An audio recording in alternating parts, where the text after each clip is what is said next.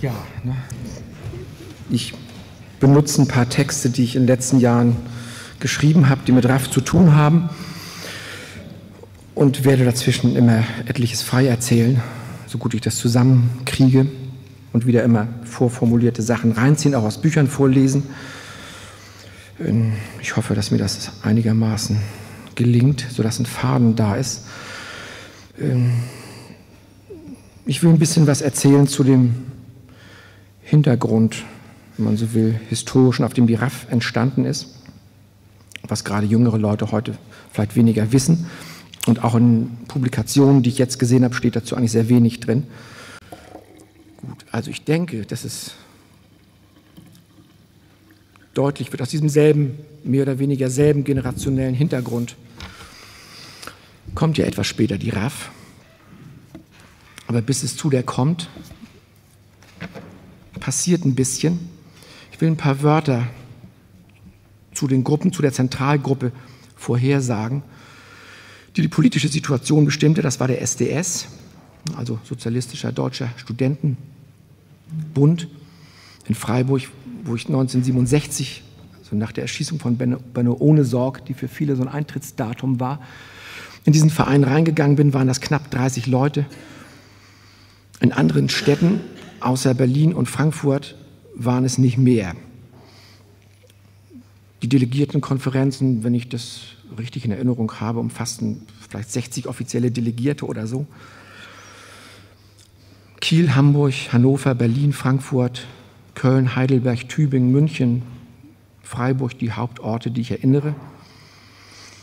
Das waren 1967 vielleicht 500 Leute als ständige Mitglieder, die dann langsam anwuchsen. Sich vergrößern, agitieren war die Hauptarbeit, Leute überzeugen, mehr werden, mit dem Anspruch aber Offenheit. Mit jedem wird geredet, egal wie blöd oder gemein er sich anstellt. Hintergrund davon, das war, glaube ich, sehr wichtig für die Art Offenheit, die man auch aufbrachte, um jede auch ewig wahnsinnige Diskussion stundenlang durchzuhalten oder durchzustehen, war, glaube ich, der, was man heute den sexuellen Aufbruch der frühen 60er nennen kann, die Pille, verbunden mit Make Love Not War, dem Spruch, der aus Amerika rüberkam, also die zwei Parallelen, Anti-Vietnam, aber Love Anti-Vietnam, gerade deshalb für den Vietcong, aber trotzdem Sprachenvielfalt, offen, auch keine Fraktionszwänge, auch wenn solche Gruppen Beschlüsse machten, gab es keine Mehrheitsentscheidungsverbindlichkeiten. Eine Minderheit oder ein Teil konnte trotzdem machen, was sie wollte. Ausschlüsse auf dieser Ebene, das hat die DKP, späteren DKP-Leute, wurden ausgeschlossen auf einer Delegiertenkonferenz, Münchner Gruppe, wenn ich mich richtig erinnere. Kommune 1 wurde ausgeschlossen. Im Übrigen versuchte man aber dieses Prinzip von Offenheit gelten zu lassen. Es gab auch keine Aufnahmekriterien, Prüfungen und so ähnliches Zeug. Das wurde alles abgeschafft. Man ließ das wegfallen. Die Gruppenzunahme war, das waren sehr arbeitsmäßig sehr strenge Gruppen. Man musste, wenn man da drin war, mehr oder weniger den ganzen Tag dafür arbeiten oder wollte das auch. Die Nächte dazu. Der Zuwachs ging langsam. Es kam immer mal einer, zwei, drei dazu.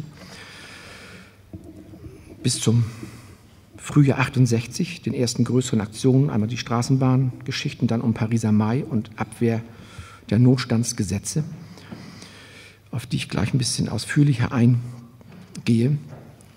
Ulrike Meinhof, glaube ich, kann man sagen, wenn man eine der, mit einer der RAF-Personen anzufangen, stand diese Entwicklung dem, was ich eben beschrieben habe, von westdeutscher Linken relativ fremd gegenüber. Sie kam eher aus Ostermarschbewegung, DDR-Pazifismus, Atomgegnerschaft, also aus einer offiziell existierenden, eher der Ostlinken, hatte sprechen und schreiben gelernt, ohne die eben von mir geschilderten Sprachprobleme, talentiert, Sprache im Leichtlauf. Aber nicht diesen Hintergrund Universität, auch nicht diesen Hintergrund Sexualisierung, sondern relativ früh Ehe, zwei Kinder und Journalismus. Der erste große Moment, dieses Journalismus, ihres Journalismus kam in der Kampagne gegen die Notstandsgesetze, das war im Frühjahr 68, die darin mündete, dass in Bonn sich nach Schätzung 80.000 bis 100.000 Leute anfanden und gegen die Verabschiedung dieser Gesetze protestierten.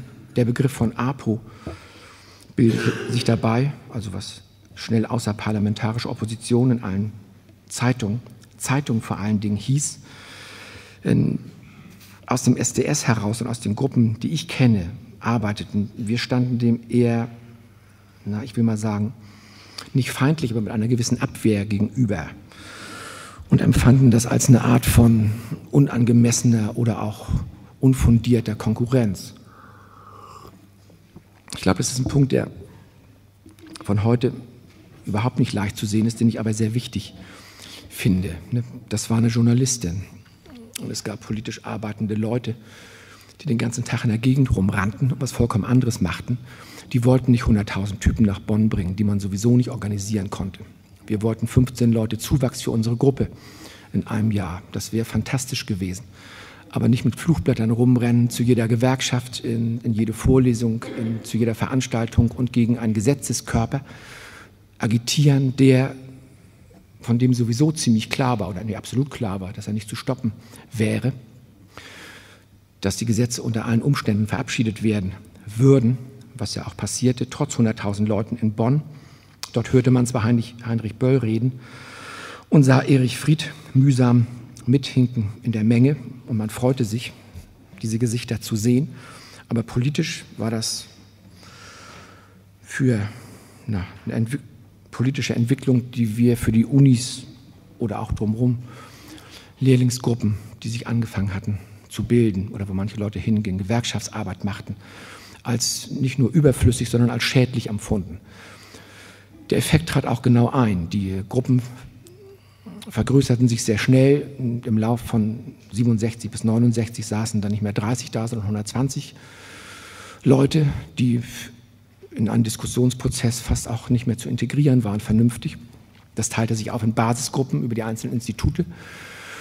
Das war eine sehr vernünftige Ausbreitung einerseits, wo auch also eine Art von theoretischer und praktischer Arbeit weitergemacht wurde. Es gab mal dieses, was APO genannt wurde, drumherum, eine ungeheure Menge sozusagen anpolitisierter Leute, die zu Demonstrationen kamen oder zu bestimmten Anlässen und Veranstaltungen kamen. Dann waren da eben Tausende, da standen 2000 auf der Straße und protestierten gegen Vietnam oder andere Sachen. Aber die ich will mal sagen, politische Arbeit oder diese Agitation, wie macht man aus Leuten eine Sorte von Sozialisten, die nicht diesem DDR-Sozialismus anhängen, dem Ostsozialismus, sondern was heute so freiheitlicher Sozialismus genannt wird, aber wir haben auf den Begriff auch eher gepfiffen, mal verwendet, mal nicht. Ob das nun Sozialismus heißen musste, gut, Marx probierte man, so gut man konnte, das aufzufassen, zu lernen, auswendig zu lernen, anzuwenden, zu diskutieren.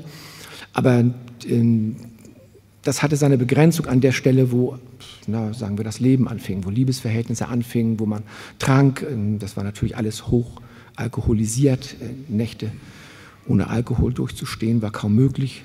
Schlafen ging fast niemand vor sechs.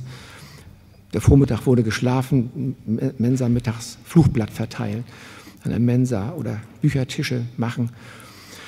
Dieser Rhythmus in, in, in, der Weise, also diese Mischung von bohemistischen Elementen und politischen Elementen, das war überhaupt nicht voneinander zu trennen und äh, sowas wie ein Dogmatismus und eine Liniendiskussion, der man folgen musste, konnte sich darin überhaupt nicht entwickeln und sollte sich auch nicht entwickeln.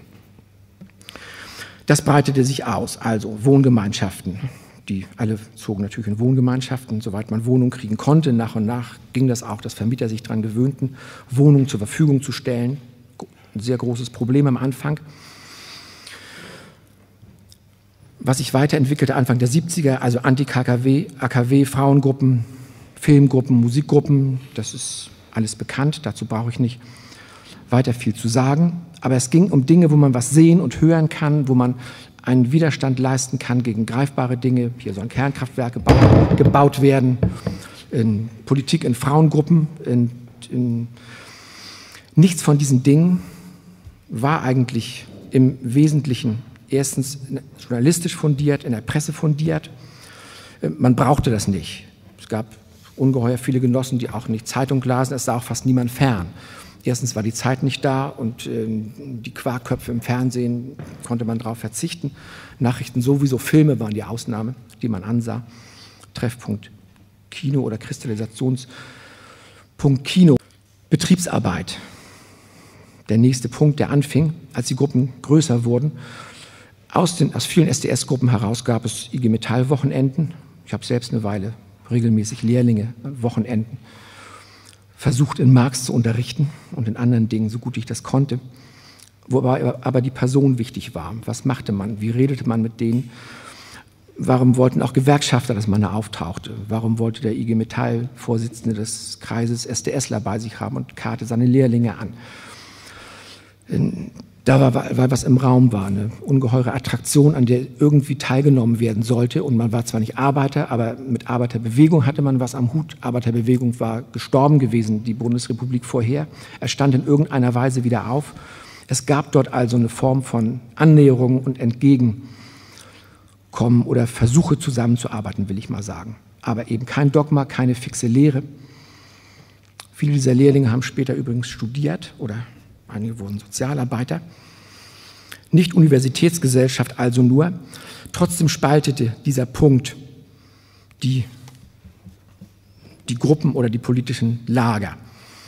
Es war, ein, es war ein ungeheurer Lernhunger da auf allen Seiten und Linien, aber je mehr die Gruppen größer wurden und sich das aufteilte in verschiedene gesellschaftliche Bereiche, desto notwendiger wurde für viele dort so daran arbeitenden Genossen, einer bestimmten Linie zu folgen oder auch ihren eigenen Unsicherheiten zu begegnen. Denn, na gut, diese Art von Leben ist natürlich sehr auszehrend. Und wenn man das zwei bis drei Jahre macht und auf diesen Zeitraum bewegte sich das zu, ähm, waren die meisten an der Grenze psychischer Zusammenbrüche. Das Studium war sowieso aufgegeben für viele schon in dem Moment, als Examen machen egal. Lehrer konnte man sowieso nicht werden. Die bekannteren Leute hatten längst ihre Akten, obwohl es die Berufsverbote noch nicht offiziell gab. Wie es auch später gehandhabt wurde, wusste man, beim Verfassungsschutz liegt stapelweise dieses Zeug. Man wird nicht Lehrer werden können, also braucht man auch nicht zu Ende studieren. Sehr viele wählten diesen Schritt hinaus, Betriebsarbeit zu machen, das hätte man vielleicht, wenn es gewollt worden wäre, integrieren können, auch noch in die universitären Gruppen, die auch Betriebsarbeit versuchten. Aber hier wurde von den Leuten, die sich entschlossen, das zu ihrer Haupttätigkeit zu machen, ein Bruch herbeigeführt, in dem der berühmte Hauptwiderspruch kreiert wurde. Also der Widerspruch von Arbeit und Kapital. Und alles hatte sich an diesem auszurichten. Und wer das nicht tat, und das ging mit einmal sehr schnell, wurde aus den Gruppen als Nicht-Marxist ausgeschlossen erklärt. Es fing also sowas wie eine sich marxistisch nennende Dogmatik an in diesem Moment, Anfang der 70er. Der SDS löste sich auf explosionsartig Ende 69 aus diesen Widersprüchen, verschwand, einige blieben in der Hochschule, andere machten Betriebsgruppen, gründeten diese K-Parteien mit dem K vorne, die sogenannten K-Gruppen. Andere wurden mehr oder weniger privat arbeiteten für sich weiter oder versuchten sonst wie irgendeine Art von Berufsentwicklung hinzukriegen. Ich bin in dem Moment für ein paar Jahre als freier Mitarbeiter ins Radio gegangen, über einen Freund, weil ich in diese K-Gruppen nicht rein wollte. Aus Gründen, die ich gleich noch ein bisschen beschreiben werde. Also der Verein sprengte sich. Kampagnenpolitik auf dieser Ebene des Journalismus war sowieso weitergelaufen. Frauenbewegung begann sich zu bilden. Man muss, glaube ich, hier dazu sagen, die einzige Möglichkeit von Journalisten, sich in Politik zu mischen, auf dieser Ebene bestand darin, Kampagnen anzuleiern oder Kampagnen zu begleiten oder zu organisieren, was dann die ganzen 70er, teils 80er durchging. Ein Punkt, den ich immer als sehr entscheidend für die Vernichtung dieser SDS-Kerngruppen empfunden habe, dass man sich immer an Kampagnen hängte, wo längst klar war, man bekämpft was, was längst beschlossen ist, was man nicht aufhalten kann, läuft immer hinterher, macht seine Organisation danach, organisiert die Busse, fährt dahin, karrt die Leute dahin, in, in, kloppt sich ein bisschen mit der Polizei, in, fährt nach Hause, hat das nicht verhindern können. Ich fand das widerlich und habe auch mehr oder weniger aufgehört, meine Beteiligung an diesen Sachen einzustellen. In diesem Moment, in dieser Situation, wofür aber vollkommen entscheidend war und wichtig, dass die Leute, die sich abtrennten und die K-Gruppen machten, einen von einem Tag auf den anderen nicht mehr kannten.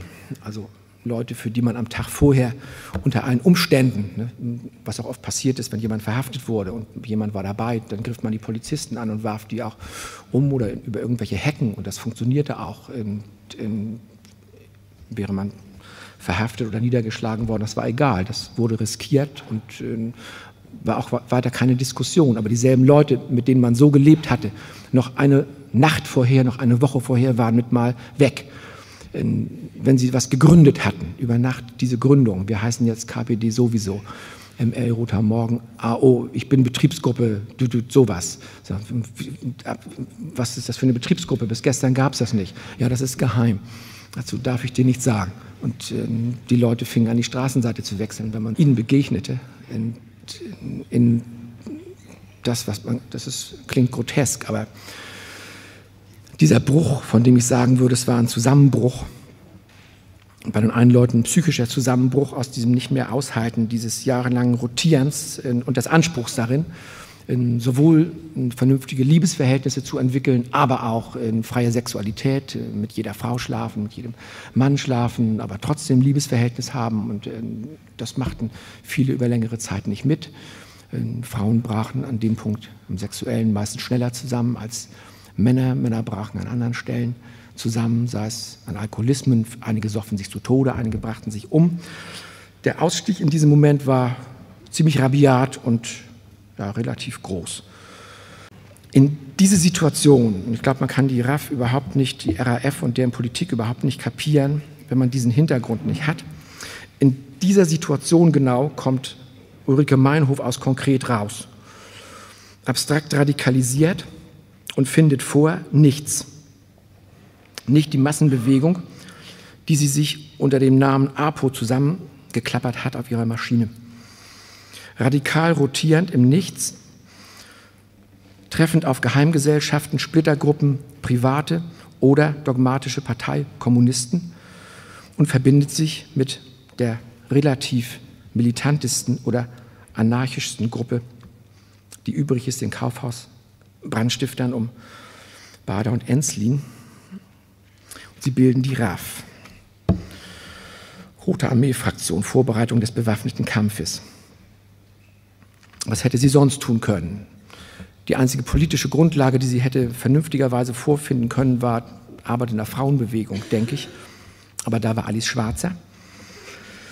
Und von da kam sie ja gerade vom Journalismus. Mühsam die Trennung und Scheidung hingekriegt von Röhl, der wie immer auch soll ein Ekel sein gewesen sein. Ich weiß das nicht, ich kenne ihn nicht, will dazu nichts sagen wie und warum die Kinder zurückgelassen auch nichts sagen, jedenfalls mit großer Mühe sich daraus befreit aus diesen Zusammenhängen, in diese Situation kommt.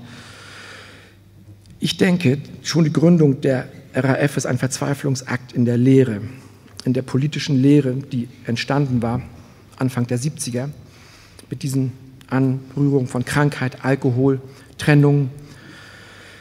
Und das hieß Reduktion das, was ich vorhin als Sprachexplosion beschrieben habe, ist genau wieder zurückgenommen worden, Anfang dieser 70er, eingeschnurrt, eingeschmolzen auf zwei, drei vorgeschriebene internationalistische Sprachen, diese Einschätzungssprachen, von China bis Angola in bestimmte Sätze jede Woche reinzukriegen in sein Parteiblatt, wie die Weltlage ist, und mit ein paar Mao-Zitaten garniert, oder wie der politische Kampf, der antikapitalistische bewaffnete Kampf läuft hier und da mit genau der gleichen Sorte eingeschränkter Sätze von Guevara bis Vietnam. Nicht nur die Sprachen, glaube ich, wurden dicht gemacht, die Straße wurde in einer bestimmten Weise geschlossen. Genau das, was erobert worden war. Straße, Öffentlichkeit, Offenheit und Sprachvielfalt nach allen Seiten verschwand in 0, nix in ein, zwei, drei Jahren wieder im Geschichtsgully. Nicht ganz, als hätte es das nicht gegeben. Bei einigen hier und da ging es weiter, aber auf sehr vielen Ebenen privat.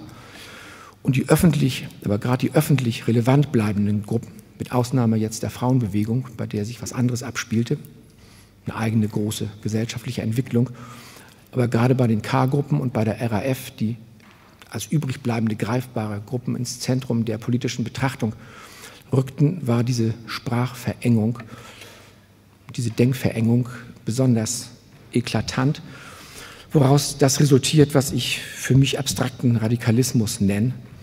Also ein, Radikalismus, der sich auf Gesten, auf Ansprüche, auf Forderungen beschränkt, revolutionäre Haltungen verbreitet in Sätzen, Parolen, in Analysen eigentlich kaum mehr macht, kaum mehr durchführt.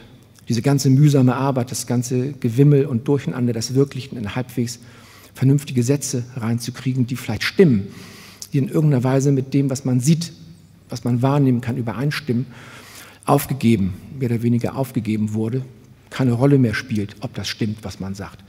Zu stimmen hatte das nur noch im abstrakten, theoretischen, marxistisch hätte man früher gesagt, voluntaristischen Sinn oder so, aber das ist selbst so ein Wort aus einer dieser Sprachen, das ich nie benutzt habe, auch nicht benutzen möchte. Kräche in den Beziehungen. Das Merkwürdige oder auch nicht Merkwürdige war, dass die meisten Leute, die in diesen politischen Gruppen, die ich eben beschrieben habe, gearbeitet haben, äh, trotzdem irgendwie den Anspruch empfanden, an sich selber nicht aufzuhören. Also irgendwie weiterzumachen in dem, was da war. Das waren aber nur fast nur die K-Gruppen oder die RAF, ähm, sodass fast jede Wohngemeinschaft, jede Gruppe anfing in, in zerfleischenden Diskussionen diesen Punkt zu wälzen, ob man sich der RAF anschließen muss oder nicht. Und, so unter dem Einfluss in fast jeder SDS-Gruppe war irgendein radikalisierter Südamerikaner, der den südamerikanischen Guerillasachen näher stand. Iraner und so in Freiburg war es ein Argentinier, so wie Salvatore in Berlin, Badutschke, diese, diese Paare, Drittwelt, Erstwelt oder wenn man will, umgekehrt, fingen an, sich über diesen Punkt in die Haare zu kriegen, zu entzweien. Was Dutschke gesagt hatte, was für mein politisches, politisches Verständnis auch immer richtig war hier gegenüber, es nützt nichts, irgendeines dieser politischen Großgesichter abzuknallen. Da kommt ein anderes an die Stelle, das spielt keine Rolle. Die Leute haben keine Macht. Ob das, äh, gut, Schleier war damals noch nicht in der Diskussion, aber später ob der Arbeitgeberpräsident der oder der oder der ist oder ob in, in, in Persien der oder der oder der der Schah ist. Die Herrschaft wird in dem Sinne nicht von Einzelfiguren, weder in der bürgerlichen Gesellschaft noch in bestimmten feudalistischen Drittweltgesellschaften ausgeübt, sondern von anderen gesellschaftlichen Gruppierungen, Industrien, ökonomischen Schichten, die nicht greift, die nicht erreichbar sind auf dieser Ebene. Also im, diese Diskussion war eigentlich gelaufen, dass äh, die Beseitigung einzelner politischer Figuren des Kapitalismus oder aus der Großbourgeoisie unsinnig sei. Und äh, wurde auch im SDS geteilt, denke ich. Hat nichts damit zu tun, dass man sagte, keine Gewalt. Die, diese Anerkennung von, was wir revolutionäre Gewalt nannten, sei es in Vietnam, sei es in Südamerika, in Kuba und so weiter, das wurde natürlich alles vorbehaltlos, fast unterstützt, fast diskussionslos, meinetwegen auch zu unkritisch, aber es ging nicht um diesen Punkt keine Gewalt, sondern Attentate, Beseitigung einzelner bürgerlicher Idioten ist eine Unfugpolitik und bringt nichts, als dass der Staat seine gegen militaristischen und juristischen Mittel verschärft. Ich habe mich später sehr oft gewundert in den 70ern, wie über die Verwunderung, äh, wie die SPD unter Schmidt und die anderen bundesrepublikanischen Parteien auf die RAF reagiert haben. Die vernünftigeren politischen Leute, die ich in den 60ern kannte, oder auch von mir aus kann ich das sagen, wir haben immer in dem Bewusstsein gelebt, dass es eine Fortsetzung des faschistischen Staates auf einer bestimmten Ebene ist. Eben, sie hatten nie ihre, ihre Richter ausgewechselt, äh, nie die Justiz entkämmt, äh, das Verschweigen der anderen Geschichten, in, in welcher Weise jetzt die Einzelnen beteiligt waren, wie es heute in sehr vielen Forschungen ja erst rauskommt, wussten wir zwar nicht, aber diese Tatsache, dass das so sein muss, dass man umgeben war von lauter Nazitätern, die auch nur darauf warteten. Ähm, ich, hab, ähm, ich war ganz sicher die ganze Zeit, dass die bundesrepublikanischen Parteien furchtbar bedauerten, kein Vietnam zu haben, wo die Amerikaner einen Teil ihrer aufmüpfigen Jugend hinschicken und loswerden konnten, wie die Opfergeschichten immer laufen, und bei uns nicht. Bei uns war kein Krieg, bei uns war Pazifismus. Mit unserer Generation war zum ersten Mal nicht möglich, sie ins Kriegsgully abzutreiben, wie das vorher immer gemacht worden ist und immer wieder gemacht wird von autoritären Gesellschaften. Das brauchte eigentlich einem keiner erzählen, da war auch die RAF nicht nötig für, dass dieser Staat sein Gesicht in dieser Weise zeigte, wie es dann, wie er es dann tat. So. Warum trotzdem nicht in die RAF? Abstrakt hätte ich mich wie viele andere verpflichtet gefühlt, ein Gewehr zu nehmen und sich zumindest abstrakt irgendwie diesen internationalen Befreiungskämpfen anzuschließen. Vietnam, Mao, Macht kommt aus den Gewehrläufen. Jeder sagte diesen Satz dauernd. Wenn schon, hätte ich eher zur RAF tendiert als zu den K-Gruppen. Aber ein ich bin in die K-Gruppen anfangs gegangen, nicht lange. Ne? Meine damalige Freundin, spätere Frau, hat ganz schnell aufgehört, nach zweimal Gruppen mit Befehlen, Hierarchien. Das geht nicht. Wozu hat man das gemacht? jahrelang. Wenn man sich jetzt einer Gruppe anschließt, die einem vorschreibt, du gehst jetzt nach Stuttgart in Betrieb, du gibst das hier auf, du gehst dahin, dort haben wir das zu bilden, du gibst dein Gehalt ab, etc., diese und diese Mengen, das kam nicht in Frage. Hierarchische Gruppen empfanden wir als absolute Auflösung dessen, was vorher politisch probiert worden war. Weitere Gründe, Guerilla, Fisch im Wasser, von allen, die für RAF plädierten, verbreitet. Das konnte mir keiner weismachen. Da war kein Fischwasser um einen rum, keiner Stadt in Deutschland, die ich kannte, die in irgendeiner Weise Guerilleros unterstützt, getragen, auch nur versteckt hätte. Bis auf ein paar einzelne Leute. Große Argumentation in Freiburg zum Beispiel, Schwarzwaldbasis. Gerade Südamerikaner brachten das vor. Man zieht sich in den Wald zurück und bildet sowas. Man braucht da nur mal mit dem Auto hinfahren, einen Tag. Dann hat der Förster einen gesehen und gemeldet, das Auto, das da nicht hingehört. Und wenn man da mal in der Hütte übernachtet und ließ das am Wegrand stehen, dann riefen die am nächsten Morgen an, wem das gehört oder ob man das im Wald wegwerfen wollte oder was der Geier was. Jeder Waldläufer, Spaziergänger äh, zeigt einen an, auf jeder Wiese, an jedem Hügel, wo man steht.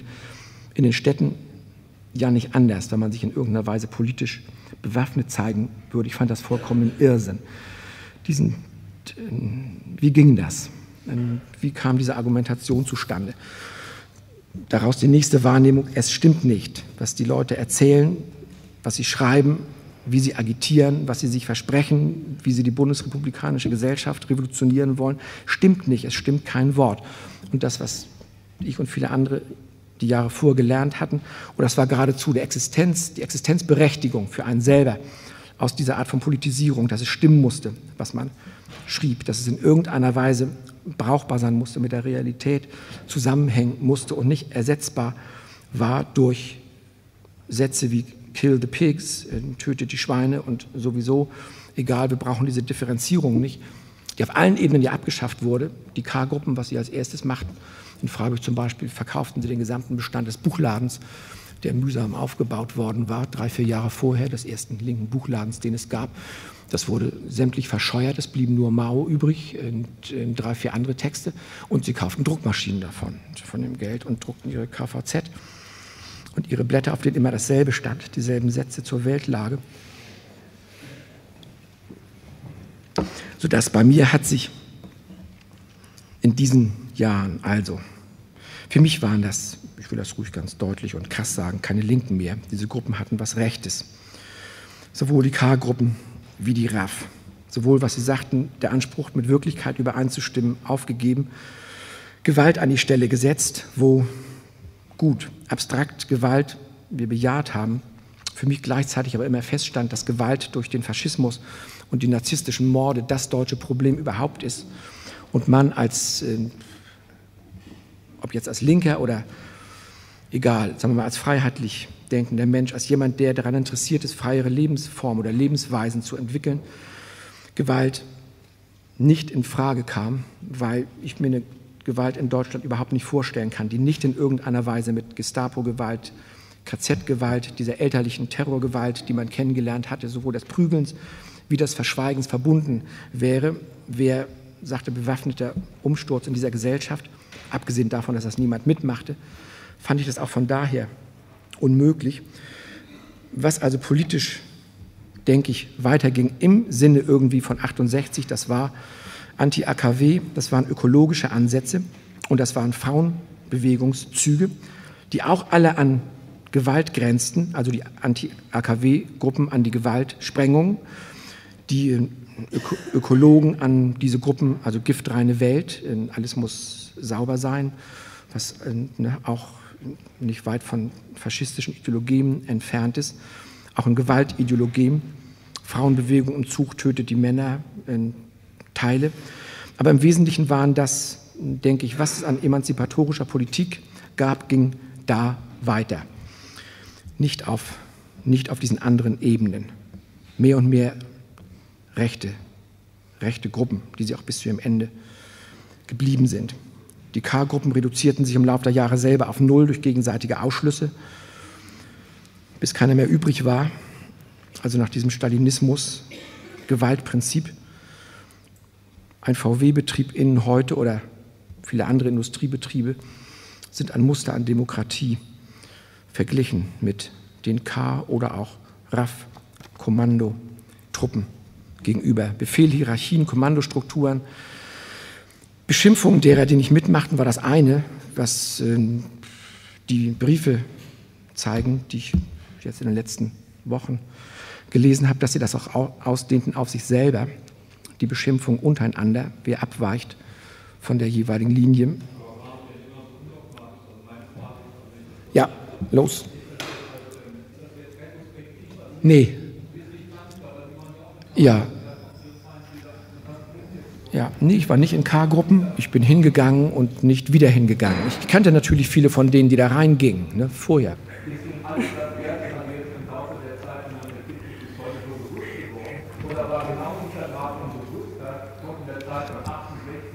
Ja. Ja, ja, ja. Ja, ja, die Frage ist wichtig. Ne? Und ich würde nicht sagen, dass mir das in der scheinbaren Klarheit, in der ich das jetzt ausdrücke, so klar war, aber in der, in der Tendenz schon. Ne? Also dieser Entschluss, nicht äh, jetzt K-Gruppe weiterzumachen, gegen alle möglichen Widerstände. Und ich kenne viele Leute, die in dieses Wegnehmen der Straße, ne? man konnte nicht mehr in dieser Weise politisch raus. Das ging das ging bis ins Gehen. Die Beine wurden einem steif. Man kriegte den Fuß nicht vor den anderen. Man wusste auch mit dem ganzen Körper nicht, wohin. In dieser Art Zerreißung. Ich, der Anspruch ist eigentlich, ich muss da was tun, aber aus den und den und den Gründen tue ich das nicht oder kann das nicht. Ähm, ich weiß auch nicht, wie ich mich da letztlich entschieden hätte, wäre meine Frau nicht entschiedener gewesen, die gesagt hat, nein. Und äh, die Wahl wäre für mich gewesen, K-Gruppe oder diese Beziehung abbrechen. Ich habe mich wir haben uns 72, äh, das war eine regelrechte Überlegung, entschlossen, Kinder zu kriegen. Wir machen eine Familie, wir gehen aus diesen Gruppen raus, aus, auch aus dieser Empfindung in die Leute, die einen nicht mehr kennen, die einen nicht mehr sehen. Dieses, äh, nach und nach fing man auch an, ein bisschen von den alten kommunistischen Texten, was ich dann später die Selbstvernichtung der Linken in den 30er Jahren nennen würde oder genannt habe. Also bei wie es bei Glaser, auf den ich nachher nochmal komme, bei Jan Faltin und so weiter steht. Franz Jung, ähm, das, man wusste das alles nicht. Das, ähm, das Wissen von tatsächlichen Fakten des Kommunismus und Arbeiterbewegung war relativ gering, wurde erst nach und nach in diesen Momenten gelesen. Umso horrender wurde das, was die machten, was die K-Gruppen machten. Man lernte mehr und mehr über den Stalinismus, aber das passierte in den 70ern. Ne? Man kann das ein bisschen ja daran überprüfen bei mir, dass dieses Männerfantasienbuch 1977 erschienen ist und das enthält ja schon eine ganze Menge davon. Und das habe ich genau in diesen Jahren geschrieben. Ne? Parallel zu diesem Prozess eben nicht dahin zu gehen, sondern zu Hause zu bleiben, Kind zu kümmern. Meine Frau fing an zu arbeiten in der Klinik und ich schrieb halb, halb die Kinderarbeit. Und die entfernte, glaube ich, am stärksten von diesen, von diesen Geschichten. Das gab einen anderen Blick. Ein Vormittag alleine zu Hause mit einem Kind, das auf dem Teppich rumkrabbelt, zuzubringen. Und ähm, selbst es tauchten ab und zu Leute auf. Jemand rief an und sagte, hier reist einer durch, ein chilenischer Genosse, könnt ihr den verstecken? Der muss weiter. Dann kam der drei Tage an und sagte, mach die Gardinen nicht auf, ich kann gesehen werden. Man musste eine Landkarte für ihn kaufen, damit er über die Schweizer Grenze, ne, die größter Maßstab, konnte. In, mit großem Widerwillen habe ich das gemacht. Ich fand das Unsinn. Ich fand, je mehr ich in diese andere Sorte leben und ich habe das auch nicht als Widerspruch empfunden, ne, wenn, also links sein oder links denken und diese Art von, von Aktivität. Ich, ich fand vielmehr, dass es, die entfernen sich immer weiter von dem, was ich mir unter links oder viele andere auch vorgestellt hatten die Jahre davor. Und das wuchs im Laufe der 70er. Es ist also nicht retrospektiv im Kern. Ne? Retrospektiv ist es in den Formulierungen, die ich jetzt verwende, weil ich meine Formulierungen von da nicht mehr habe und die waren mit Sicherheit zerrissener. Ne? Ich war absolut zerrissen zwischen diesen Polen. Politischer Aktivist war sozusagen die Selbstverpflichtung und jetzt saß man zu Hause mit dem Kind und machte was ganz anderes. Und äh, eine neue Welt, die angefangen wurde. Und that the facts. Ja, Schmierer, Semmler, Knapp, viele andere, ne, die herumkommandierten. KPDAOs gründeten und so weiter und so weiter. Es ist witzig jetzt, wenn man sie in ihren Semmler in dem Taz Rückblickheft zur RAF, das sonst sich sehr verdienstvoll finde und das auch sehr viele gute Quellen zusammenträgt, was Peter Brückner angeht und alles das, ne, wozu ich, das kann man da alles wunderbar nachlesen.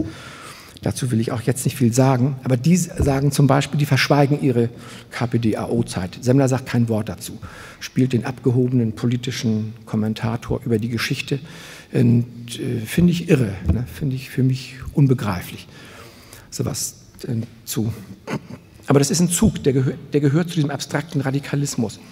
Der abstrakte Radikalismus kann springen, der ist übertragbar von der einen Geschichte auf die andere, weil die Regeln sich relativ gleichen und äh, die Praxisabgehobenheit, je weiter sie da ist, also je weiter man vom wirklichen Gewimmel des Wirklichen weg ist, desto einfacher klappt das und funktioniert das.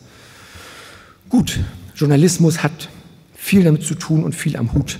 Journalismus und ne, Journalisten haben in der Politik nichts zu suchen für. Mein Gefühl, um es für die linken Journalisten krass zu formulieren. Ne. Das sind, äh, da kommt eine Leitartikel- und Abstraktionspolitik raus. Und äh, über die Notstandskampagnen. Ich weiß wirklich persönlich, wie ich wütend war auf Ulrike Meinhofs Texte. Sagte, ne? die betreibt da was, was sie nicht in der Hand hat, die leiert was an, was in vollkommene Richtung geht, die kein Mensch weder organisieren noch kontrollieren kann, aber man, das ist eine Quantität, man kriegt eine große Zahl hin. Diese ganze Politik der großen Zahl, die Linken zählen nach so und so viel. Über Jahre mit Leuten mich fast geprügelt, Walter Mossmann, mit dem ich gut befreundet war. Jedes seiner Lieder mit der Zeile endete. Aber wenn wir erstmal mehr sind, äh, dann machen wir das. Und, und mach doch mal eine andere Schlusszeile. Lass doch. Äh, äh, und, ging nicht. Manche machten diese Schlusszeile immer, immer weiter.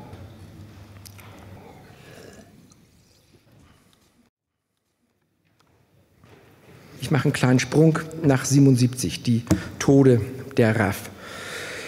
Gefängnistode. Ne? Ob Mord oder nicht Mord, will ich nicht darauf eingehen. Ich war in dem Moment, wie fast alle überzeugt, natürlich Mord. Wenn ich die Briefe jetzt lese, bin ich weniger überzeugt oder zumindest steckt die Selbstorganisation oder Inszenierung des Todes da drin. Das will ich aber nur streifen.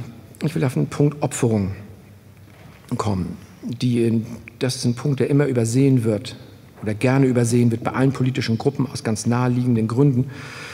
Man hat dieses merkwürdige Phänomen, warum ist Rudi Dutschke im Lauf der 70er tot, äh, Kral, äh, es war ein Autounfall, ne, verschwunden, äh, mehrere, fast aus jeder SDS-Ortsgruppe wird man einige nennen können, aus den ausgestellten Positionen, aus der Führungs-, den sogenannten Führungs- diese Mutposition, sich aussetzen, sich vor Säle stellen, reden, ähm, selber nicht genau wissend, soll man das, wie man das macht, kann man das überhaupt?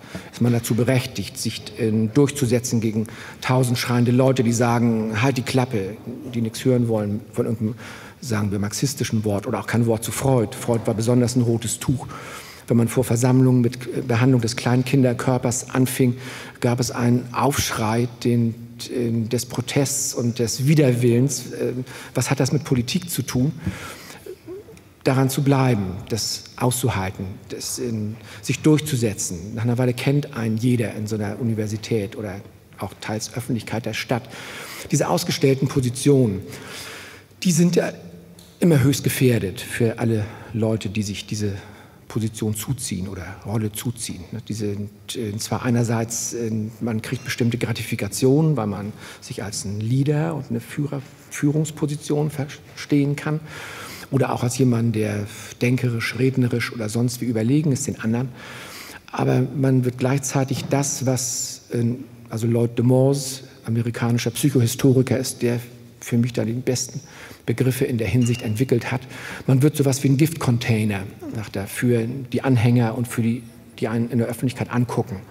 Bestimmte Fantasien, die rein projiziert werden, Dinge, die man ausführen soll, die einem nicht verziehen werden, wenn man es nicht macht. Man wird ja konstruiert im Bild, im Blick der Öffentlichkeit, wenn man sich diese öffentlichen Positionen zuzieht oder anmaßt, muss sich teils nach denen verhalten. Politiker leben davon. Die leiden nicht darunter sondern im Gegenteil, können das genießen oder auch Machtzuwachs oder Stimmenzuwächse genießen. Leute, die aus einer Position kommen, die aber nicht eigentlich in Führungspositionen wollen, sondern denen daran liegt, jetzt mal ruhig anmaßend gesagt, ne, die Masse zu entwickeln, in dieser zu verschwinden, nicht auf Führerpodesten zu hocken, sondern politische Initiativen und Aktionen anzustoßen, die sowas wie Gleichheit, äh, befreites, befreites Handeln, bessere Möglichkeiten, sich in Beziehungen zu verhalten, etc., etc., ist man genau in diesem Widerspruch, dass man zwar einerseits in diesen Redepositionen hockt, Godard hat das mal sehr scharf formuliert und in spitz in, in dem Satz, wer zu mehr als zwölf Leuten sprechen kann, ist ein Diktator. Und ich habe daran auch immer was richtig gefunden.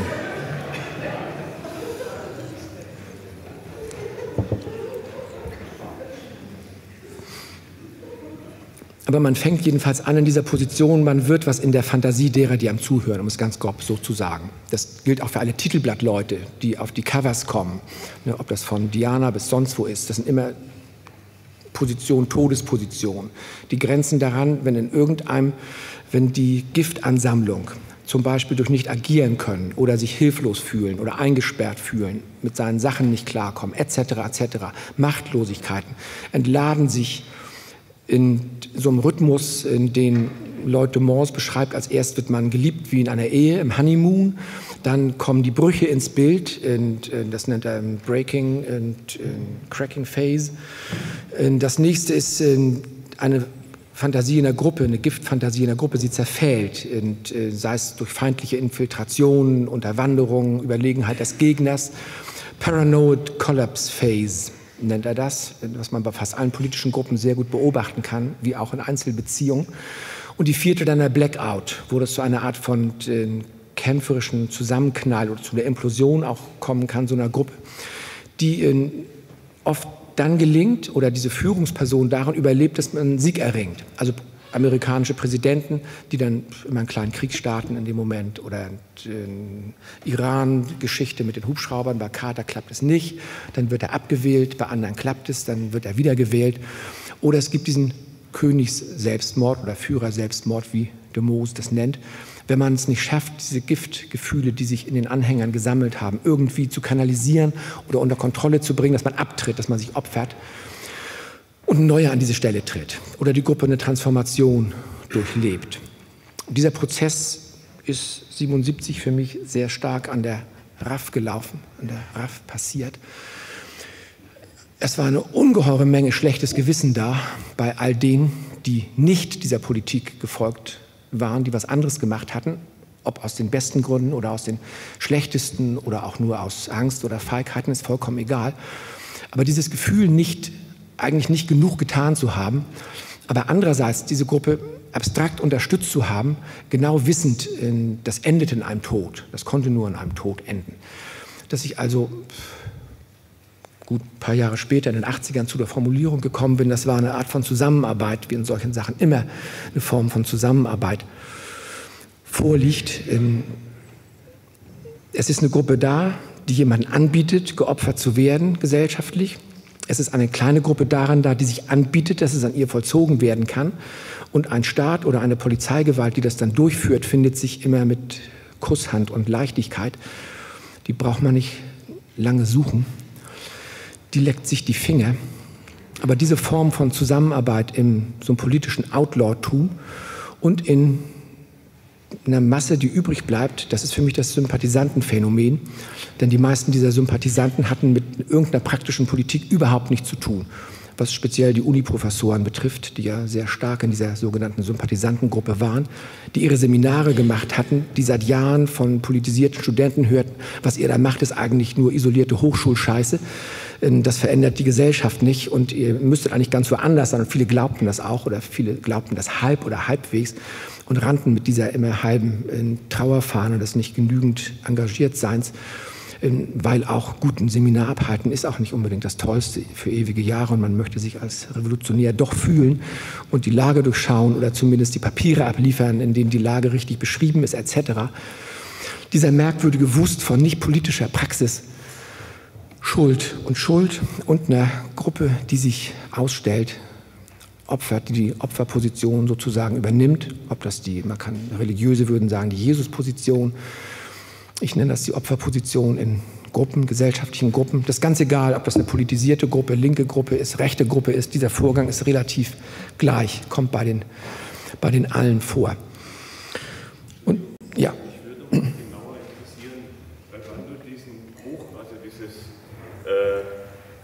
Bezug zur Realität zu verlieren, in den Texten genau ansetzt. Also Phänomen, was du da beschreibst, sag mal so, zwischen dem Organisationsreferat von Karl Dutschke und dem Konzept Stadtguerilla. Und mhm. ähm, ich meine, es gibt ja auch eine, eine, Reihe von Texten von Ulrike Meinhof, denen ich noch so eine analytische Qualität zum Beispiel zusprechen würde. Ja. Du hast das jetzt so ziemlich frontal, so die, die Ostlinke quasi, äh, die Journalismus macht und, und diese explosive, also textexplosive Linke gegeneinander gestellt. Ich weiß nicht, ich bin noch nicht so ganz überzeugt, wie man ja. das so machen kann. Und auf der anderen. Seite würde ich sagen, bei diesen wo du gesagt hast, wo dann noch so emanzipative Politik äh, möglich war, Anti-AKW, Öko-Friedensbewegung, ob es da nicht genauso eine Art von abstrakter Radikalität, vielleicht ja. auch von abstrakter Friedfertigkeit gegeben hat, ja. wo man ähnliche Prozesse vielleicht auf einem anderen Level, mit einem anderen Inhalt feststellt. Das würde ich nochmal kritisch dazu. Ja, glaube ich auch. Also zweite Hälfte äh, würde ich sofort sagen, ja, ist so. Bei diesen Gruppen kann man das auch sehen den Abstraktionsgrad jeweils muss man im Einzelnen bestimmen, ne? kann, man nicht, kann man nicht pauschal sagen. Bei Friedensbewegung, glaube ich, war die Tendenz sehr groß. Ne? Frauenbewegung, kommen wir wieder aber auf die Ost, stärkere Ostanteile drin von ne, diese Sorte zweite Welt, wie konkret das nennt, Sozialisation. Ne? Sehr viele, De ich kenne keinen Dekapeler, der nicht in der Friedensbewegung in irgendeiner Weise war. Ne? Und wenig Dekapeler in der Frauenbewegung ne, zum Beispiel. Als, ne, also so eine Differenzen sind natürlich zu machen. Die analytischen Qualitäten der, der RAF-Papiere, glaube ich auch, konnte man die ersten bis Mitte 70er Jahre äh, konnte man das sehen. Ne? Also in diesen Schriften mit falschem Cover, ne? die in den Buchläden verkauft wurden unter falschen Titeln unterm Ladentisch, weil die ja schon in den Buchläden verfolgt wurden und nicht offiziell verkauft werden durften. Aber immer dieser Punkt, bei mir hat das immer ganz schnell geendet, da war was Analytisches, aber dann kam ein Satz wie, wenn ihr nicht der gleichen Meinung seid wie wir, dann unterstützt ihr faktisch die bundesrepublikanische Justiz. Punkt. Ne, und, und da ihr die bundesrepublikanische Justiz unterstützt, seid ihr Schweine. Punkt. Ihr gehört also auch zu den Pigs, ihr seid eine Fraktion der Pigs. Das fehlte fast in keinem Text. Ne, das ist auch in den frühen, fängt das sehr stark an. Ne. Die haben aber diese Spaltung. Die sind teils analytisch und teils diese Wut da. Wer nicht denkt wie wir, der Begriff, der dann immer wieder auftaucht, hat unmaterialistische Scheiße im Hirn. Das ist eine Formel, die auch in den Briefen hier, aber dann untereinander auftaucht. Das fand ich an, an, den, an den Briefen ne, im Knast, die Info-Geschichten. Ich weiß nicht, wer das kennt. Das diese Veröffentlichung äh, herausgegeben von Peter Bakker-Schut. Briefe von Gefangenen aus der RAF, aus der Diskussion 1973 bis 1977 ne, in Hamburg, Hamburg und Stammheim. Da ist dieses Prinzip des sich Schweinennens ähm, derart ausgedehnt auf sie untereinander, ne? dass jetzt abgesehen von äh, Bader, Enslin, Meinhof, jeder kommt an den Rand dessen so genannt zu werden. Ähm, das soll ich den Sprung machen dahin? Ich kann das mal, wie ich dieses jetzt gelesen habe, kurz, kurz beschreiben. Diesen, diese merkwürdige, aber ich ich belege das nicht alles mit Einzelbeispielen. Da muss ich jetzt da überall rumblättern, ich habe mir die angestrichen. Ich glaube, dann werden wir vielleicht zu lang. Ich fasse das ein bisschen, bisschen zusammen. Diese. Moment, das kommt gleich. Ja, das ist schon etwa richtig hier. Der Vorschriftscharakter. Vorschreiben, was der andere tun und was er lassen soll. Ich setze es ein bisschen mit Familienverhalten in Beziehung etwa die Mama bei Franz Jung. Der Junge spielt doch nicht richtig, hält die Geige nicht richtig, guckt nicht richtig in die Noten. Komischerweise stimmt es aber, was er spielt, aber er müsste es doch ganz anders machen. Dieses Mama will es aber so. Diese ganze Dressur der frühen und späteren Kindheit, Schulzeit, kommt mir in diesen Briefen aus allen Poren der Raffler unentwegt herausgeströmt, in ihrer Situation als Eingesperrte. Nur noch Vorschriften, Anweisungen, Richtlinien und dann die Kulmination Befehle. Du musst lernen, was es heißt, einen Befehl zu empfangen und ihn zu befolgen. Sie landen damit genau im Kern des deutschen Elternterrors, der der Kern des deutschen politischen Terrors war, den man doch bekämpfen wollte. Vorschrift bis in die letzte Zeile oder wie Sie auch oft sagen, bis zum letzten Atemzug. Ich lese mal so ein Stückchen Enslin dazu vor, wenn Sie an einen der anderen Inhaftierten schreibt. Du weißt nicht, was ein Befehl ist. Sonst hättest du gemacht, was du jetzt allerdings sofort machen wirst, was der Befehl wollte, um von Disziplin nicht länger nur zu reden. Du weißt, draußen hätte dein Verhalten bedeutet, wir trennen uns von dir. Denn wenn einer einen Befehl durchzuführen vielleicht mal nicht in der Lage ist, es wenigstens versuchen kann er immer. Du willst nicht, was sonst ist es. Erinnere dich, als du angefangen hast, bist du aus genau so einer Ecke gekommen, die du dir jetzt in einem Trakt und das ist, was man verachtet, eingerichtet hast, eine Schnecke mit dem Haus auf dem Rücken, ist es das, was du willst. Und dieser Ton geht, es gibt fast keinen Brief, durch den der nicht, nicht durchgeht. Und gut, zur großen Politik. Ich habe immer, wenn ich gewählt habe, gedacht, es kann, gibt drei Gründe. Atomkraft kann man stoppen, Abtreibungsgesetze und Bundeswehreinsätze. Und das waren drei Themen der Grünen und äh, Atomkraft Kraft ist mehr und mehr zusammengebrochen werden nicht dicht gemacht, auch wo SPD und Grüne regieren. Abtreibungsgesetze sind so schlecht auch immer erledigt, mit Hilfe von CDU-Frauen aber. Hätten die auch nicht mal hingekriegt. Bundeswehreinsätze sind die Grünen nach und nach dabei, dem zuzustimmen.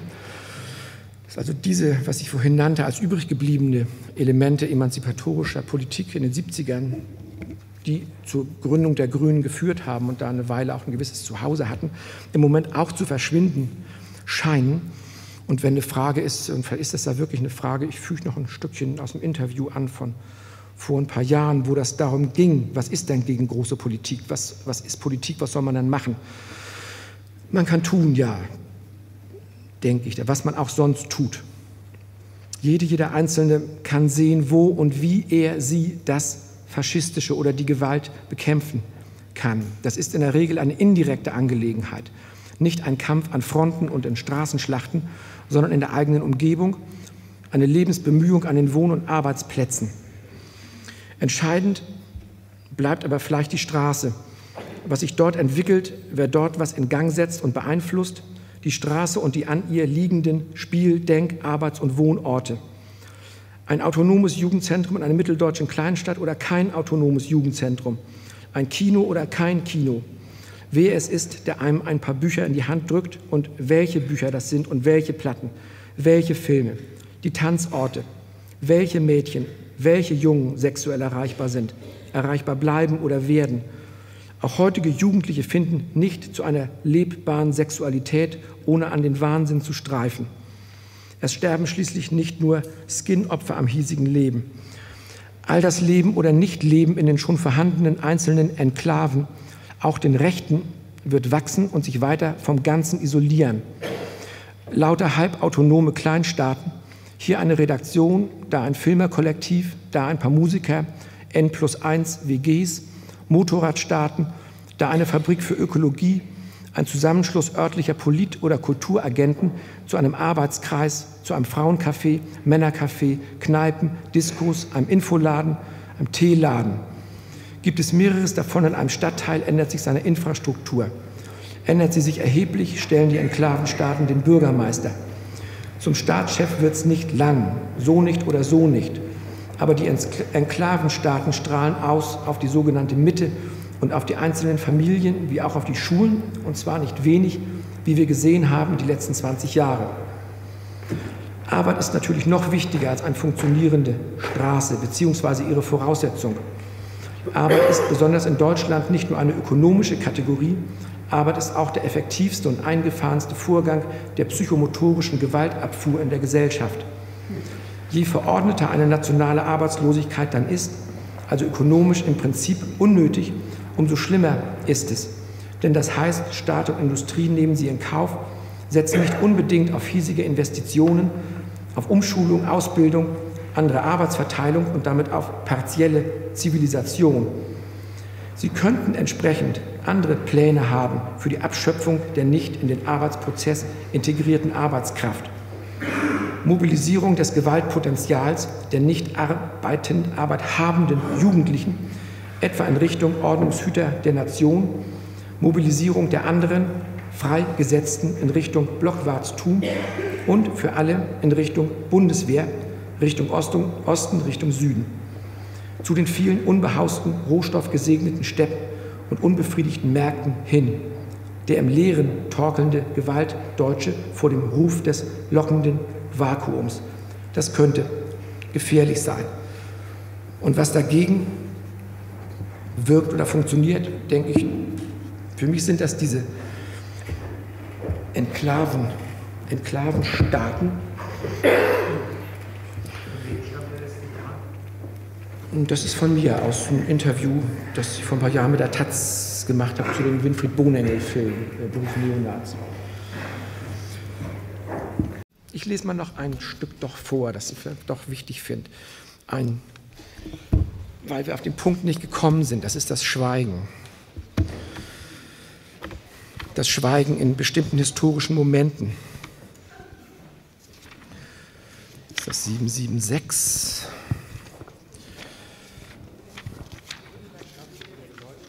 Das geht von der Situation aus und also gerade zwei Leute, von denen ich denke, Franz Jung und Georg K. Glaser, ne, die, denen es gelungen ist, diese Brüche und diese Situationen der Linken im 20. Jahrhundert darzustellen und fast die beiden einzigen, die reagieren 33, als die Nazis die Macht ergreifen, mit dieser Wahrnehmung von, ja, es ist nicht nur Lehre, das ist ganz merkwürdig. Also Jung sagt 33, für sehr viele Menschen meines Schlages muss eine Art Albtraum plötzlich in die Wirklichkeit versetzt worden sein. Sie liefen herum wie die aufgescheuchten Hühner und gingen in Deckung, sobald einer auch nur laut gehustet hat. Wer Geld hatte, kaufte die Fahrkarte nach dem Ausland. Das neue Regime lief sehr langsam an, besondere Verordnungen waren noch nicht erschienen. Ich würde sagen, ich beobachtete die Vorgänge als Zuschauer sehr dicht bereits an der Rampe, aber unbehelligt und gleichgültig Trotzdem würde das nicht den Kern treffen. Ich beobachtete überhaupt nicht. Es ging etwas vor sich, was ich einfach nicht mehr wahrnahm, nicht mehr wahrnehmen konnte. So sehr war ich bereits innerlich von der Außenwelt entfernt. Ich hatte es kommen sehen. Ich hatte es vorausgesagt. Nicht nur ich. Auch alle die vielen anderen, die sich jetzt wie Feitstänzer gebärdeten, wie die Gnome in einer irischen Sage, die auf dem offenen Herdfeuer geröstet werden. Und es war nichts geschehen. Für mich direkt, soweit ich am Leben bleibe, wird auch weiter nichts geschehen. Werde ich gefühlt haben. Werde ich gefühlt haben. Vielleicht hatten meine Freunde erwartet, dass ich mich aufgeben würde. Ich habe schon erwähnt, dass ich gegen Ende 32 bereits nahe daran gewesen bin. Ich hatte allerdings jetzt auch für Frau und Kind zu sorgen, für die Frau, die sich mir anvertraut hatte, als es mir scheinbar mit all den Reisen und Geschäften so gut gegangen war. Die Frau hatte in mir den Halt gesucht eine selbst noch in der Erinnerung groteske Situation, dass jemand den Mut aufgebracht hat, in mir den Rückhalt zu sehen. Den Halt, den ihr der Mann, ein früherer Vorwärtsredakteur, von dem sie bereits getrennt war, nicht geben konnte. Immerhin habe ich den Namen des Mannes für die Wohnungsanmeldung benutzt. Wir konnten in diesen ersten unruhigen Monaten in einer von Gewerkschaftsgeldern gebauten Siedlung am Rande des Grunewalds in Zehlendorf eine Wohnung bekommen.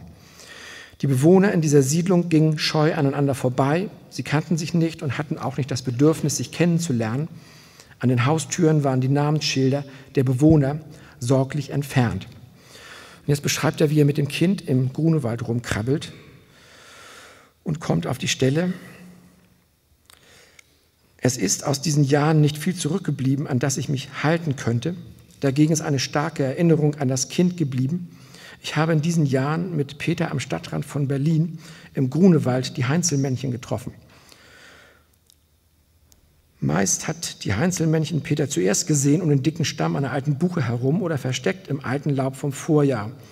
Ich selbst habe oft mit einem Stock gegen den Baumstamm schlagend die Heinzelmännchen erst herbeirufen müssen, wenn sie vielleicht andernorts beschäftigt gewesen sind und den Peter vergessen hatten. Ich weiß seit diesen glückhaften Jahren, dass die Heinzelmännchen keine Legende sind. Sie existieren durchaus und in Wirklichkeit und sie haben mir oft geholfen, Peter wiederzufinden, wenn er sich zu weit in den Büschen verlaufen hatte.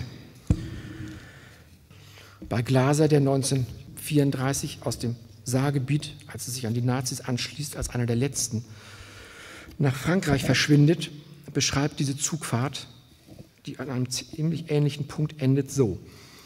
Wir waren durch die Nacht wie durch einen langen, langen Tunnel gefahren, denn am Morgen waren wir auf der anderen Seite der Welt. Fremde, hellbraune Ebenen, von Schluchten kleiner Flüsse durchrissen, von felsigen Rücken überragt. Wir spürten einer in das anderen Augen, wie wir die Demütigung kaum noch ertragen konnten. Immer neue, unvorhergesehene Umstände, dieser Zug, der nicht fahrplanmäßig war, dieses Land, das uns ausschloss, vertieften die Not und machten uns hilfloser.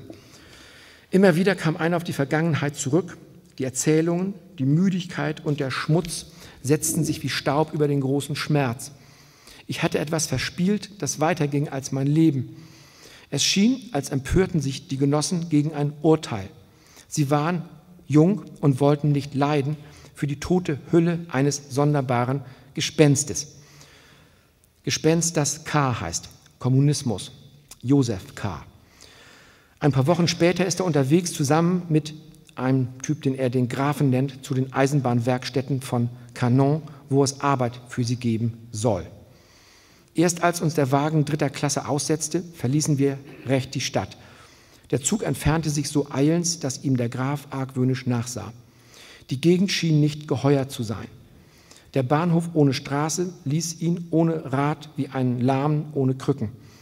Er raffte sich auf, sah mich unter seinen großen Augenlidern hervor, deren eines in edler Nachlässigkeit halb geschlossen war, an und sagte, weltmüde, mein lieber Haueisen, da wären wir nun. Ich hörte ihn nicht mehr, denn seit der eiserne Vorhang des wegfahrenden Zuges sich vor der Landschaft aufgetan hatte, war ich von der Stille gefangen. Die vier Bogenstriche der Gleise verhalten in einem einzigen Punkt der Ferne. Die Bahnsteige waren menschenleer. Hinter und neben dem Bahnhofsgebäude zitterten die Gärten in der vollendeten Stille, die nur das verschmolzene Geräusch unzähliger Millionen Halme, Blätter und Kleintiere erzeugen kann. Über all das hinaus enthielt die Stille einen nie vernommenen Bestandteil. Ich hatte nur eine braun gestrichene Holzkiste, die einem Mann aus Toulouse nützlich gewesen war, ehe er sie mir geschenkt hatte. Sie war mangels Schloss mit Bindfaden verschnürt, sah aber trotzdem besser aus als ihr Inhalt. Während ich sie mir auf den Rücken lud, versuchte ich immer noch zu enträtseln, was eigentlich an der Stille neu war. Es war nicht die Feierlichkeit und grundlegende Bedeutung eines ersten Tages. Es war nicht, weil ich zur Stunde einig mit mir war. Wir gingen über die Gleise und durch den Wartesaal auf den Platz vor dem Bahnhof hinaus. Auf dem staubigen Platz, den große, gärtnerisch verstümmelte Platanen bewachten, standen einige Wagen ohne Fahrer. Das wenige Aufheben, das unser Erscheinen verursachte, wurde nachgerade beleidigend. Es blieb uns nichts anderes übrig, als aufs Geratewohl mit dem breitesten der drei Fahrwege voranzugehen, der hundert Schritte weiter in eine vielversprechende Landstraße mündete. Die unbekannte Stille verweigerte das Geräusch unserer Schritte. Wir waren nicht vorgesehen. Die Wahrnehmung, wir waren nicht vorgesehen, funktioniert wie ein Eintrittsschlüssel ins Reale. Auf diese Weise sieht Alice Miller Menschen aus dem Zustand braves Kind heraustreten.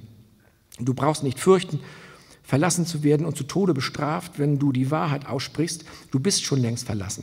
Du wurdest zum Tode verurteilt. Von deinen Eltern schon, als du ein Kind warst und später immer wieder, von deinen Chefs, von deinem Heimaufseher, von der kommunistischen Partei. Es ist genau dies, was Haueisen Glaser in diesem Moment registriert. Weiter er, meine Augen waren dabei, die blühenden Bäume, die wie Wiederkäuer im Grün liegenden Dächer der Scheunen und den strahlenden Himmel wie eine Ernte einzubringen, und ich wusste nun, was in der Stille besonders und außerordentlich war.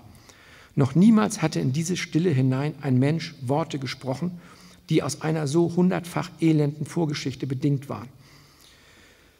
Die Vorgeschichte, die hundertfach Elende, ist die Geschichte der Hoffnung, das neue Leben mit der kommunistischen Partei in Deutschland im Lauf der 20er Jahre finden und aufbauen zu können. Stattdessen das Elend der inneren Zerstörung der Partei durch die Zeit, durch sich selber, die Zerstörung des Einzelnen durch den Apparat und andere Einzelne.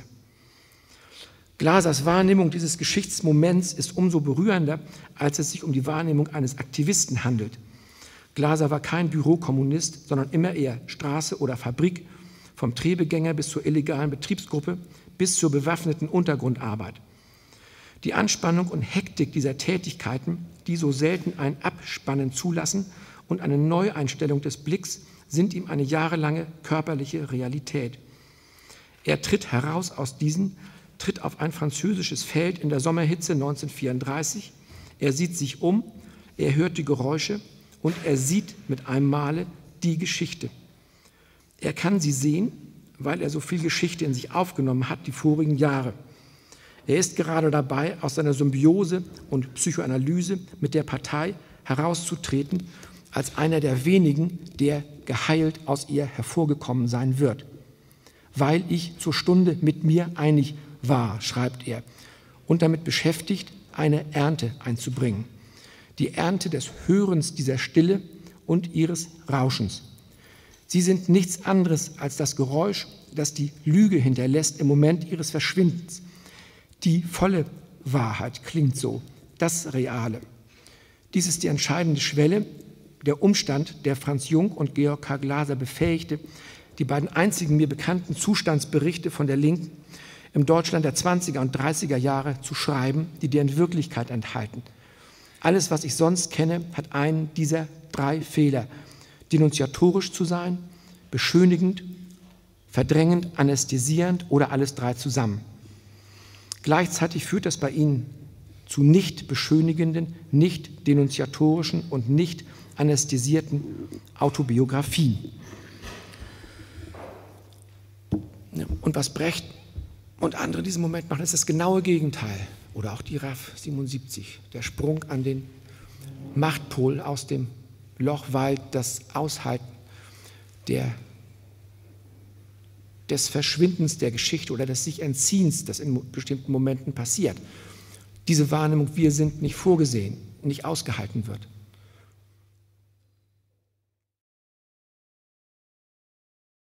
Dass ein Vernichtungswille da war gegenüber der RAF, das halte ich für zweifelsfrei. Ne, die ganze Geschichte von Abschaffung von äh, Rechtsstaatlichkeiten, Verteidigungsbehinderung. Das war ja auch genau der Punkt, aus dem heraus niemand in dem Moment, ähm, sagen wir mal, in einer ruhigen oder gewissen Klarheit sagen konnte, ähm, ich setze mich von der RAF ab, weil das alles gelaufen wäre unter Distanzierung. Natürlich distanzierte man sich nicht. Ich hätte um keinen Preis irgendein Distanzierungspapier unterschrieben wie manche Universitätsleute das gemacht haben, um in ihren Geschichten keine Schwierigkeiten zu bekommen. Man, gerade weil der Zugriff, und das war ein zwar sehr, ein sehr grausamer und übler und insgesamt, glaube ich, relativ kluger Schachzug dieses bundesrepublikanischen Staates für sich, hier überhaupt kein Zweifel zu lassen, dass man bis zur, wenn man die Bilder sah, wenn man den, die Hungerstreiksbehandlung, die Kommentare sah, verrecken sollen, das, was in der Bevölkerung emporkam, sollen sie doch verrecken, hängt sie doch gleich auf, legt sie doch gleich um. das war so eine, eine klare Haltung von äh, der Mehrheit von Leuten und des Staates aus, dass man eine Position öffentlich sowieso gegen die RAF überhaupt nicht beziehen konnte. Also jeder, der das als Linker gewollt hätte, wäre für sich auf so einem Distanzierungszettel erschienen und hätte das nicht gemacht. Ne? Insofern ist das, was ich hier dazu jetzt sage, natürlich tatsächlich retrospektiv. Und eine Hilfe an dem Punkt 77 nach der Mogadischu-Geschichte gab es wahrscheinlich nicht mehr. Und deswegen ist es auch nicht eine psychoanalytische Beschreibung einfach, sondern ich denke auch eine Folge dieses Terrors, der auf sie runtergeht im Knast, dass sie bei diesen Formen ankommen. Ich würde die aber nicht so beschreiben, wären die nicht vorher in den Papieren teils schon drin.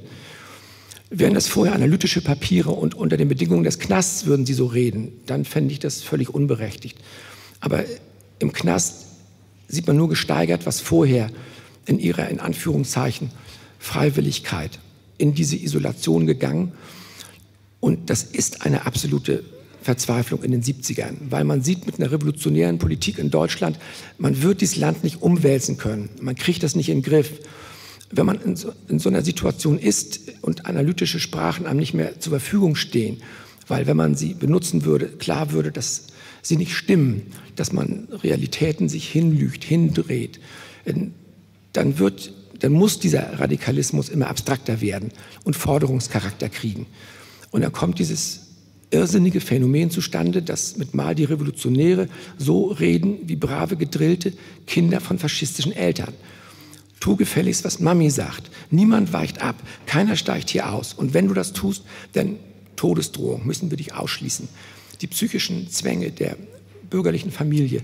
Das hat mich, ähm, das hätte ich nicht so erwartet, das in dieser Schärfe und Offenheit in den Briefen jetzt zu sehen.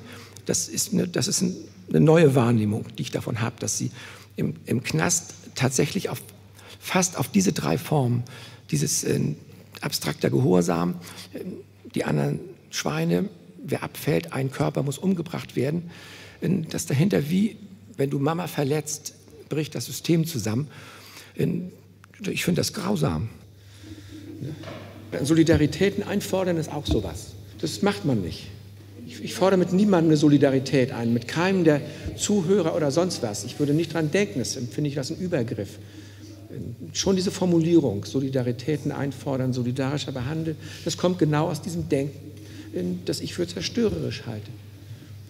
Und es ist noch, natürlich noch viel mehr Papa, Mama auf der Geschwisterebene. Ich könnte das auch als Geschwisterhorror beschreiben, diese ganzen Eingriffe in den anderen, anderen Körper. Ne? Das ist genau nicht getrenntes Geschwisterverhalten von Kindern in Geschwisterreihen, genau aus der deutschen Familie, wie wir es auf allen Ebenen, jetzt nicht nur RAF, bis heute feststellen, dass dieses äh, sehr viel stärker ausgeprägte Recht, das man sich nimmt, in den anderen einzugreifen, der neben einem sitzt, mit dem man zu tun hat, das ist alles Geschwistergrapsch. Nicht voneinander getrennte frühkindliche Geschwisterkörper, die nicht äh, gelernt haben, äh, nicht eine Identität jetzt, sondern ihre Zusammenhänge mit anderen zu finden und deswegen nie genau wissen, wo der andere anfängt und wo man selber aufhört. Und deswegen immer die Finger im anderen drin haben. Das ganze RAF-Syndrom ist auch von daher beschreibbar. Würde nicht alles enthalten, aber ist sehr stark drin.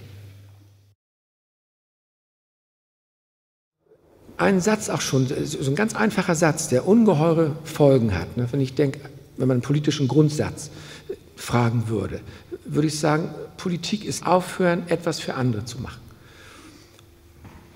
Das ist ein Satz mit ungeheuren Folgen. Politik besteht fast nur aus Vorschriften. Eine Gruppe legt fest, das und das ist so und so richtig, dem sollst du dich anschließen. Diesen Satz fallen zu lassen, das, das wäre eine wirkliche Revolution.